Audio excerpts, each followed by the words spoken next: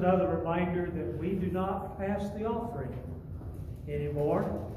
And uh, that's okay because you still keep giving, and that's what's most important. It is very much a personal act of worship, and you may put your offering here, or there's also a place in the back where you can leave your offering. God bless you.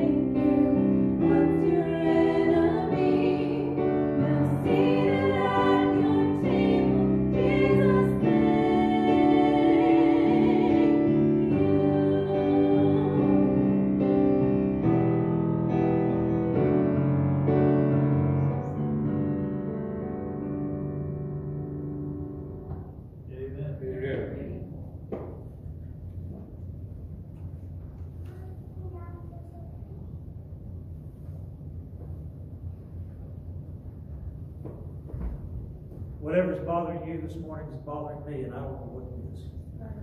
You know, sometimes I, I, have noticed that when I just walk into this room, um, I don't know if it's from the fields around us or what. I don't know either. it is a struggle.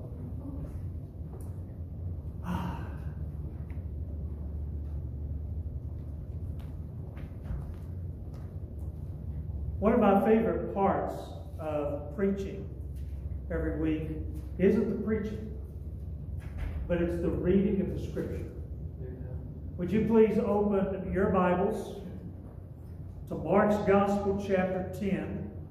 We're going to look at verses 17 through 27, and what is, what is amazing about this particular passage is that it is just jam packed with truths.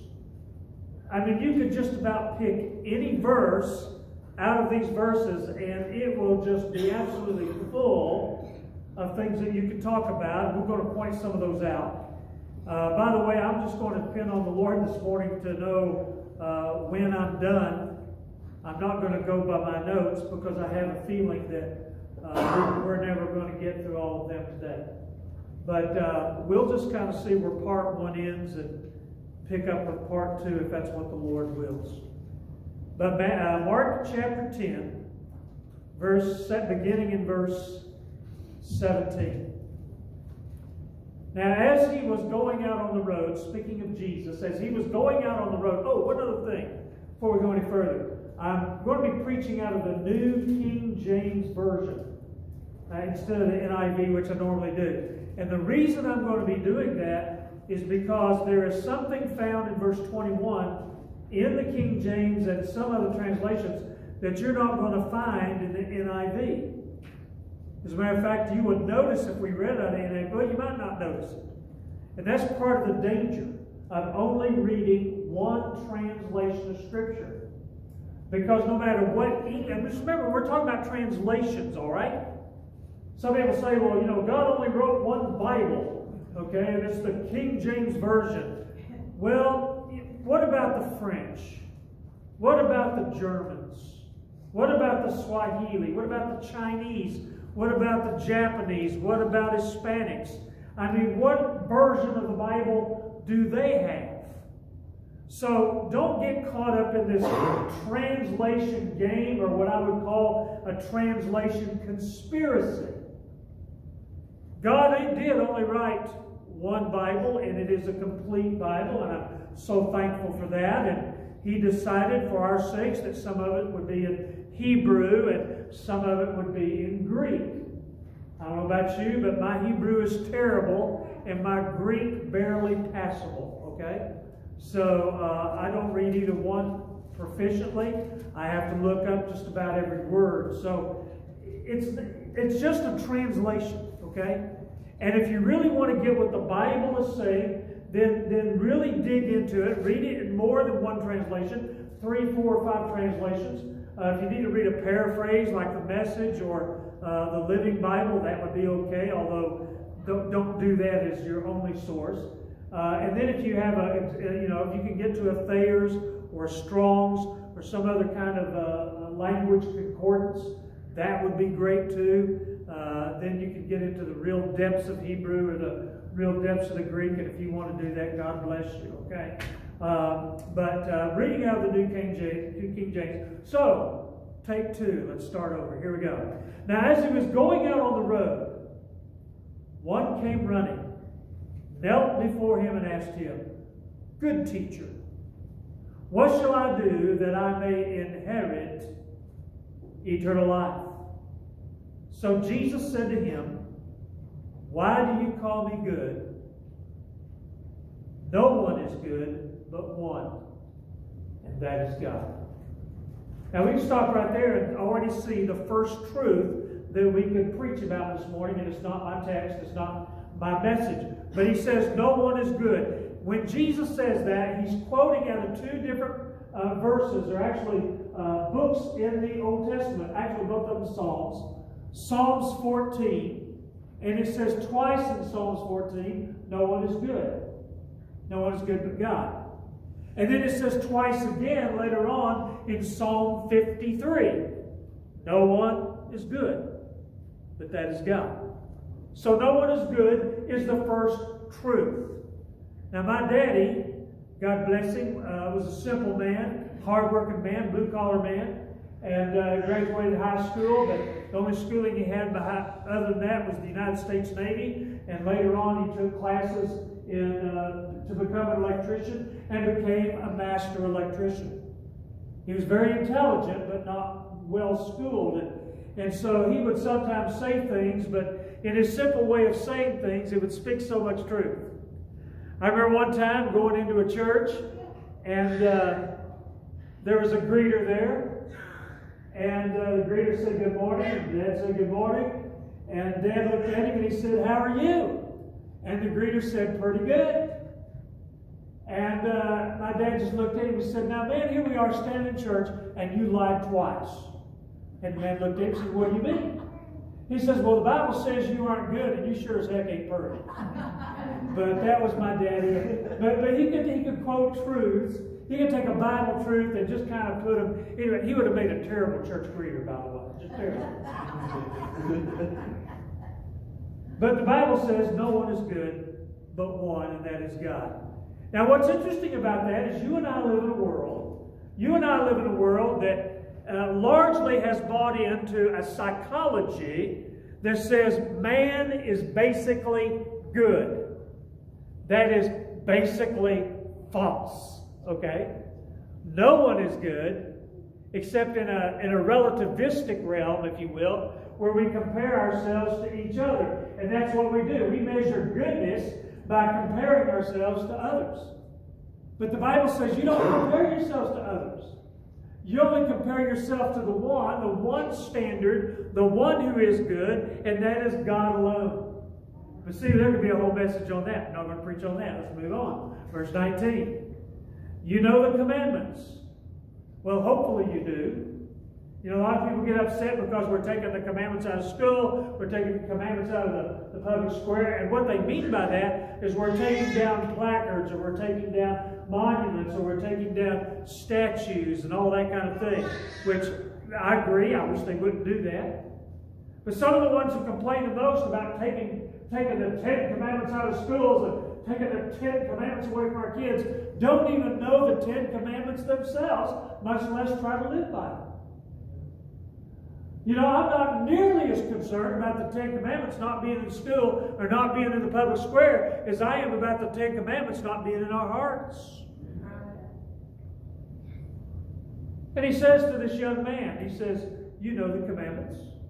And this young man invariably did because being raised as a good Jewish young man in a very uh, well to do household, he learned the Ten Commandments from a little boy up. By the time he reached his bar mitzvah, his, where he became a son of the covenant and a man at the age of 13, he knew the Word of God. He knew the, the Torah. He knew the Ten Commandments. But he says, You know the commandments. Do not commit adultery. Do not murder. Do not steal. Do not bear false witness. Do not defraud. Honor your father and your mother. Now, I don't know about your count, but my count, that's only six. Where's the other four? We'll get to that in a little bit. And he answered and said to him, Teacher, notice he dropped the word good at that point. Teacher or rabbi, all these I have observed from my youth. Jesus has said, There's no one good but God. What did he just say at that moment? He said, I've been good. I've been good. Now, let me tell you what, if you're a parent and you haven't been a parent very long, and you don't ever ask your child if they've been good because they're just going to lie. they're going to say, I've been good. Yeah, according to who? All right, anyway. The key verse. So go ahead and put that on the screen, if you will. Mark chapter 10, 21. This is where I'm preaching from. Then Jesus, looking at him, and this is a great place to know the original language. We'll get into that in a little bit. Then Jesus, looking at him, loved him. Would you say that part with me? Then Jesus, looking at him, loved him. It's one of my favorite parts of the scripture. Then Jesus, looking at him, Jesus knew everything about this guy. Jesus knew things about this guy that you and I would never know about this guy. The truth is, very few of us in this room barely know anybody else. Even those we're married to, we know them to a point. But nobody knows us like Jesus knows us. And Jesus, looking at him, in spite of everything he knew about this man, loved him. And that word love, which we talked about last week, the agape love of God, oh, loved him and said to him, So I want you to see those three verbs. Looking at him, loved him. By the way, loved him is not a feeling, it's an act of will. It's a verb, it's an action. And I'm going to be preaching this morning on what love does, not what love feels, not what love thinks, but what love does. That's why it's hard for me to say when this message is going in because, you know, uh, I'm 66 years old. I've been married for 40. Oh, God, don't let me get this wrong. I've been married 46 years, and I'm still learning what love does. Every day. Every day. We're going to be learning it from now on. Matter of fact, it was, it was Paul's prayer for his church, you know. He said, I pray that they would know the, the height, the depth, the width of the love of God. It's his prayer for me, his prayer for you, is that we would know what it really means to love. I don't know about you, but I got a long way to go when it comes to that. But he noticed, he looked at him, he loved him, he said to him, Here it is. One thing you lack. Go your way, sell whatever you have, give to the poor. Now I want you to notice, he doesn't say that he has to give it all to the poor. But he says, Go your way, sell whatever you have, give to the poor, and you will have treasure in heaven.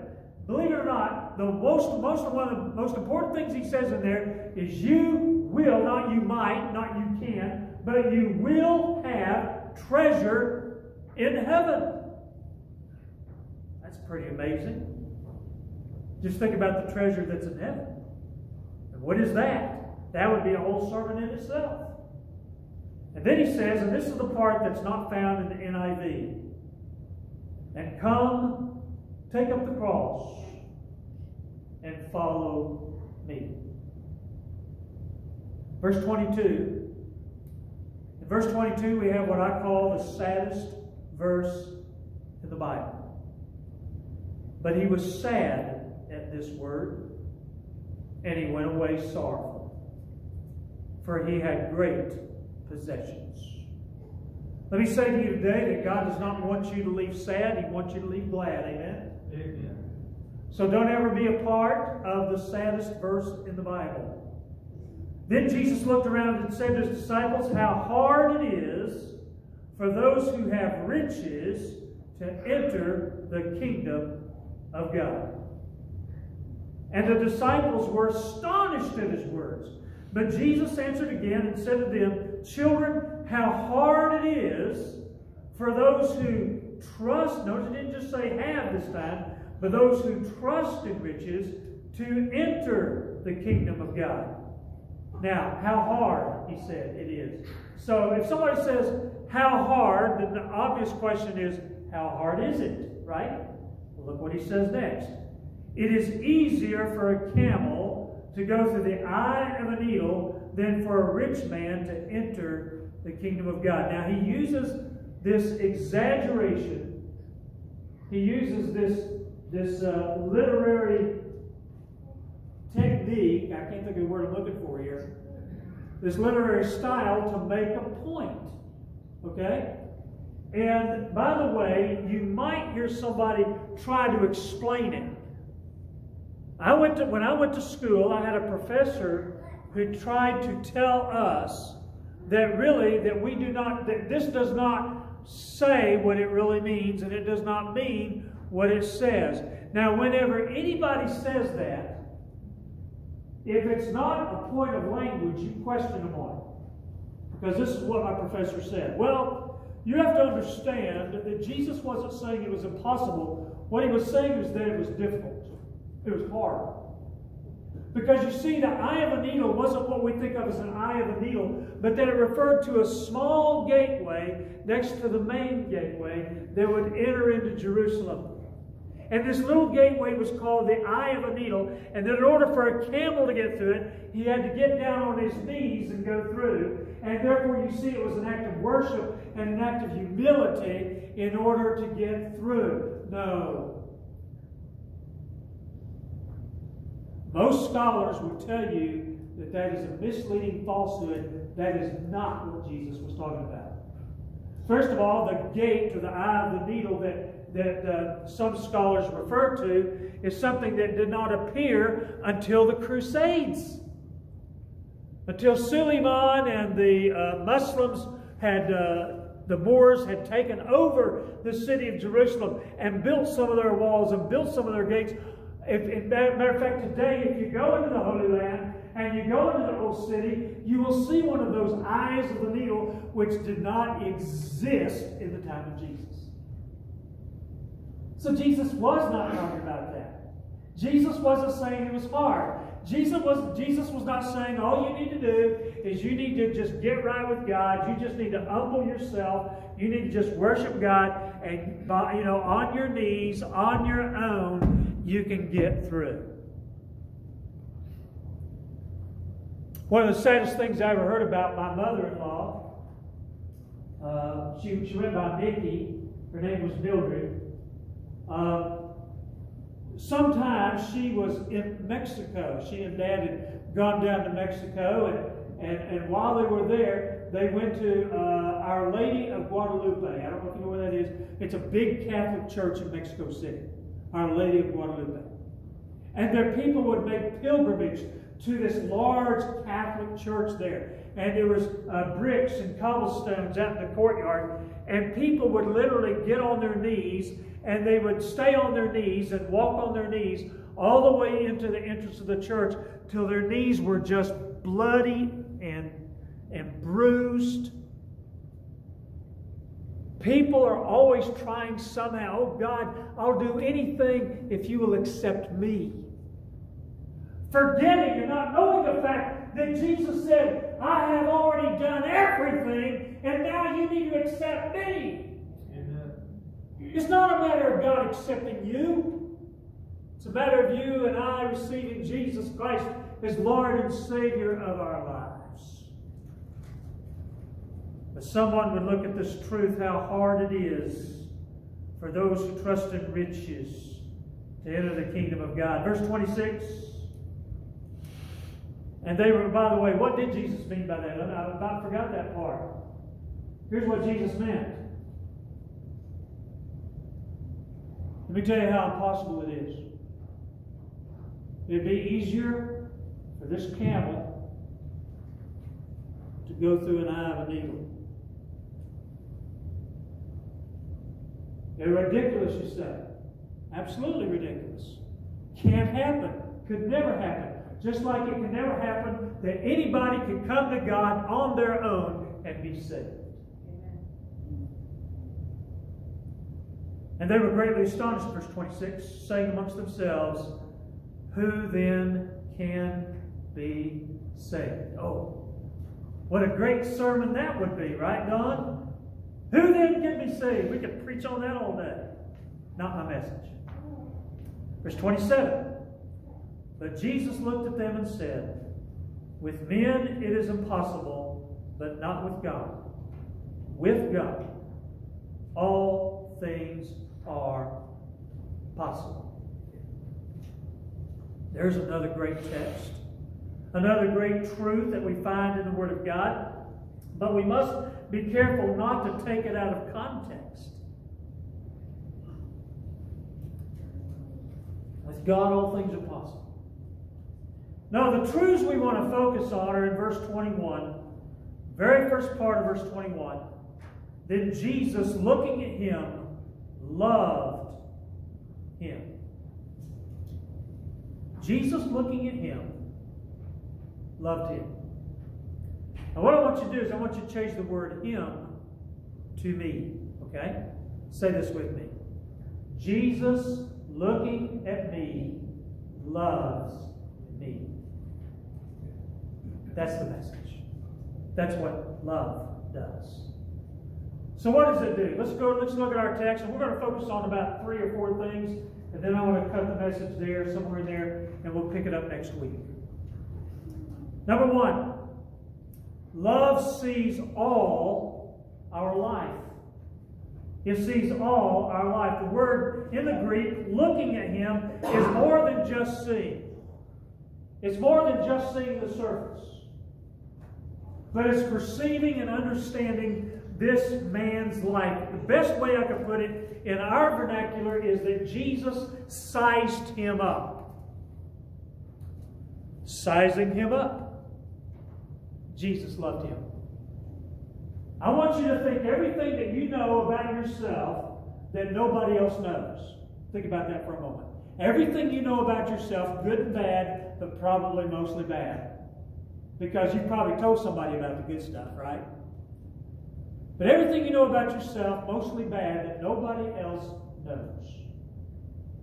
Your secret thoughts, your lust, your desires, your failings, your weaknesses, all those things. Think about those right now. And think about this. And Jesus seeing him. Her. Loved him. Jesus sees all our life. He sees everything. I'm reminded of that commercial on TV for a medication which says, See me. See me, the commercial says. See the person, not the sickness. See the person, not the imperfections. See me, not the sin, not the scars, not the religion, not the politics. The person who laughs, the person who cries, the person who's hungry, the person who's scared, the person who loves and wants to be loved, the person who hugs and says, Oh, it feels so good to be hugged. Jesus sees the whole person the failings, the frailties, the past, the present, and the future. He sees the person that is and the person that can be. And in spite of all that, He loves us. Verses 17 through 20, which we're not going to read again, we can clearly see a man of inherited wealth. He lived a life of entitlement. Let's face it, we live in a, we live in a nation now where, the, where there's a, a segment of our population who cannot relate to us at all. And we can't relate to them at all.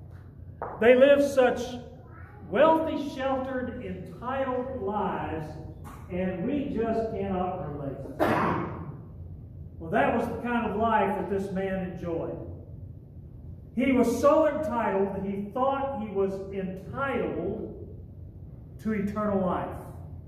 He said, What must I do that I must inherit eternal life? What did he say? He said, I've been good.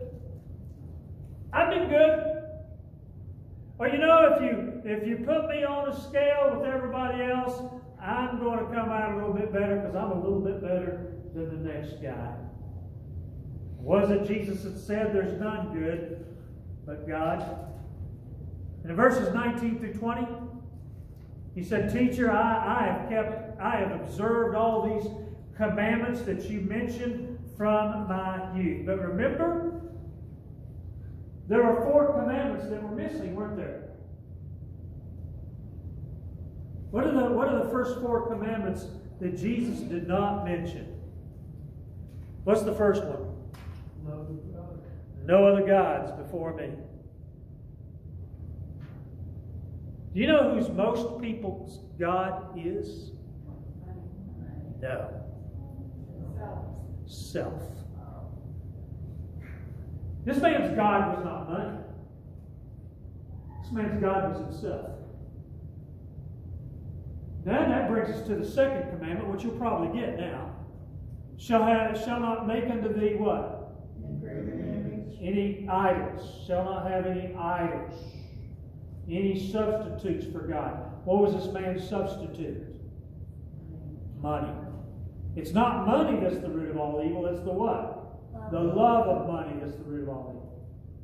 He went away sad. Why? Because he had great wealth and he just couldn't bring himself to part with it. My, my question to you is what idols do you cling to? You remember in the Old Testament when Jacob finally got up the guts to leave his father in law? He had his flocks, he had his wealth, he had his wives, Rachel and Leah. But one of the wives, Rachel, took idols with her idols of gold and silver, and she hid them in an oak tree near Shechem. Remember that story? She took idols. She could not part with her idols. Jacob had no knowledge of this. But she could not part with his idols. So, my question to you is what idols do we cling to? No idols. Then it brings us to the third commandment. You shall not take the name of the Lord your God in vain. Now, let me tell you what we reduce that to. We reduce that to, to using certain words. Taking the Lord's name in vain does not have to do necessarily with using bad words, what we call bad words, curse words, cursing. That is not primarily what this, what this refers to. What does the word vain mean? Anybody tell me what the word vain means? Worthless. Worthless. Bingo. You don't know what vain means? Read read the book of Ecclesiastes. All is vanity and vexation of spirit. All is worthless, empty. It literally means empty.